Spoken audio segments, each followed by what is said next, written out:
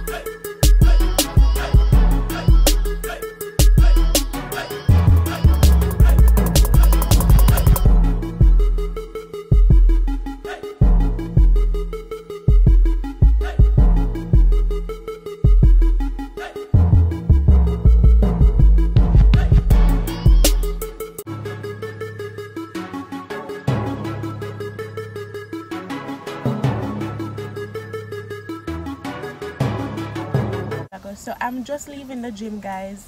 Um it's like four it's 5:16 actually. Um i came to the gym like 2:30 so yeah i'm about to leave now and get something to eat. Like i'm starving. Dying mad dead. You see me so i got something to eat guys. Um and then i went ahead and made some tiktok and then i just went home. But i hope you guys enjoyed this video. Let me know if you want to see more of my workout. See you next time. Don't forget to subscribe like share and comment. Mwah. go and big up on yourself. You don't know it's a girl Rosh